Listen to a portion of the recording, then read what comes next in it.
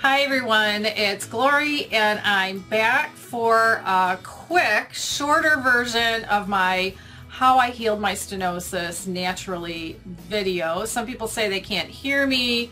Um, other people can hear me if they stick around and listen long enough. So let me do a quick rundown. I've had a lot of people reach out to me for the article by Dr. Deborah Katchen about the homeopathic remedy that she uses with her spinal stenosis patients. Now I have what's called foraminal stenosis. Suddenly one day I had pain in 2014. It didn't go away. I went to the doctor um, specialist and he prescribed six weeks of physical therapy, of course, and I've been to this physical therapist, was fantastic, but I still had pain after six weeks, so they had the MRI, and that's where I got the diagnosis.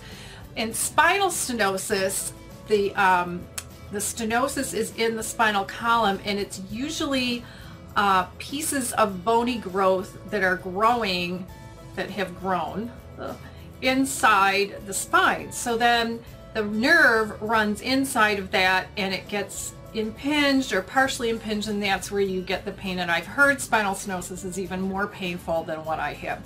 In foraminal stenosis, think about the spine and then there are all kinds of nerves coming out the side. So uh, on me, it's in the lower part of the spine on my right, with this is this side.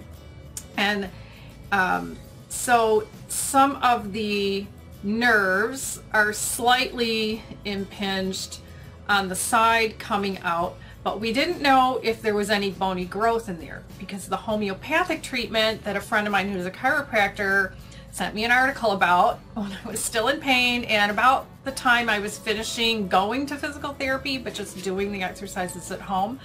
Um, you know, at first I thought, yeah, right, homeopathy, I'm not going to do that. But then I, I printed out the article and I read it and I thought, oh my gosh, this is an MD who figured out from some other studies that had been done to help cattle, or maybe it was cows.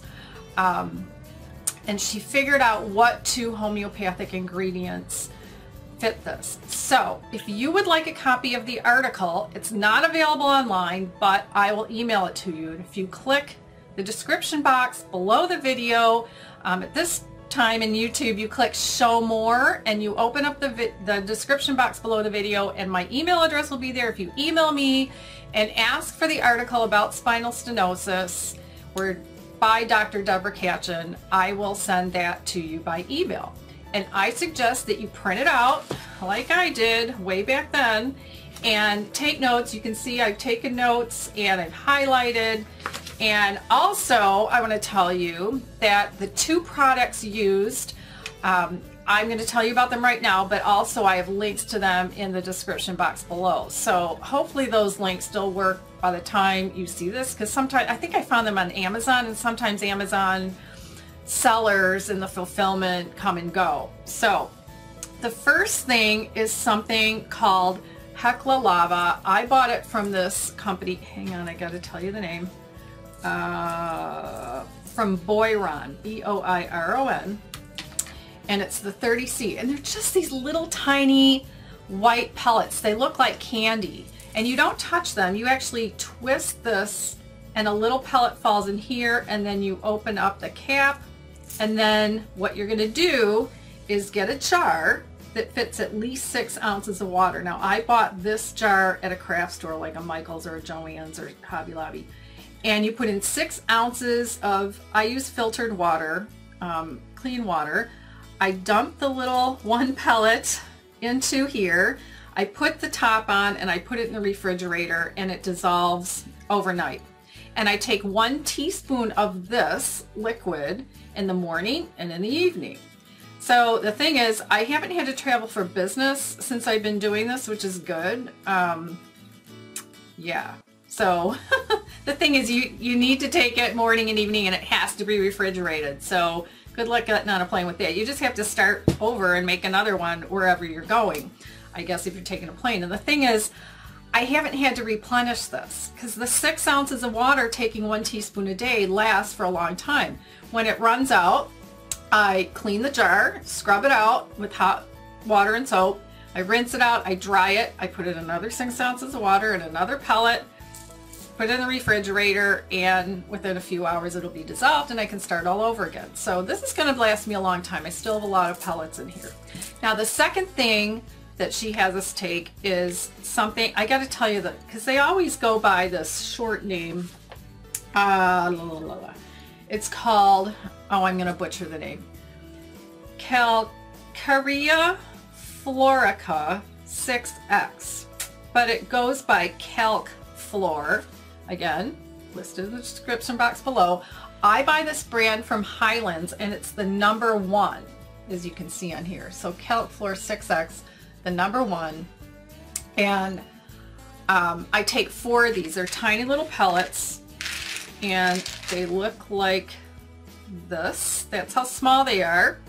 And you put them under your tongue and they dissolve within 10 seconds. And because I take some other supplements every morning, I use a pill box, a weekly pill box. I put all my supplements in here, including the four Calc Fluor. And it's the last supplement I take out of all of them they take. Like I said, put them under your tongue. They're tasteless or sweet. I don't know what they are, but they're not bitter. They dissolve. Now, I so let me tell you the time frame so you can have some hope. Plus, we like I said, we didn't know if this would work. And I emailed Dr. Katchen because her email address was available and she didn't reply. But then my friend, Dr. Denise Shostek, who's also into homeopathy, called her and set up, and uh, Dr. Katchen called her back. And Denise said, I have this patient. She has foraminal stenosis, not spinal stenosis, do you think this treatment will work for her? And Dr. Katchen said, mm, I don't know. It depends on if she has the bony growth. But it, when you read this article, she's going to tell you about several of her patients who at the time she'd written this article had spinal stenosis. They did this treatment. Some of them were immobile. They couldn't even leave the house because they were in so much pain. And the treatment worked for them. So let me tell you the time frame of mine. So the pain started in June. I went to the doctor mid-July. I started physical therapy in July, late July. This is all in 2014. By October, I was going to be finishing up going to physical therapy, but I do the exercises every day. I still do. I have to do them for the rest of my life, and that's okay. Um, but I was still in quite a bit of pain. I mean, to the point where it would just, it would be my turn to talk somewhere and I would, in a meeting or something, and I would just go like that because I would have the nerves going down my leg and ugh. So that was still happening in October. And this is when I started the homeopathic treatment.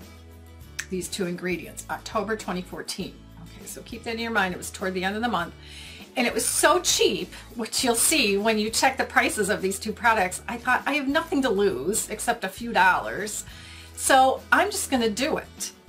And I'm not even going to judge it till April. So I'm going to get about a minimum of six months. And I will tell you by February, so October to February, I was feeling better. Not 100%, but I was having days where I didn't have pain, maybe had a little pressure, but not the pain. And by April, I was feeling so much better. And by that time, that was into 2015, I would say I had no pain. Sometimes I get the pressure, even yesterday, a little bit of pressure back um, and my lower back where the foraminal stenosis is. But it's just pressure. It's not pain. So between the exercise, exercises, and um, this homeopathic treatment, it really worked for me. And I think if you have spinal stenosis and you ask me for this article and you print it out and read it and you go over it, you're going to realize you have nothing to lose by trying this other than a few dollars. And I would say give it a minimum of six months and see where you go. Now, I still take this. I asked Dr. Shostek, you know, should I still keep taking it? I'm afraid to stop because we don't know you know, the people with the spinal stenosis in Dr. Katchen's article stopped taking it. They were, because the bony growth went away. But on me, we don't know. So someday I might experiment with that, but I'm afraid. So it doesn't cost me that much to keep taking it. And the only thing I've had to repurchase was this. I buy the bottle with 500 because I'm taking four a day. All right. So send me an email if you want the article, give it a try. Now the other thing I want to tell you is that I was measured recently for height and I gained a half inch in height, which is unheard of at my age. So if you'd like to check that out, click one, click the um, image on the right side of your screen to check out that video. And I also have one on the four pelvic correction exercises that I was given by my physical therapist. Thanks for watching. Bye.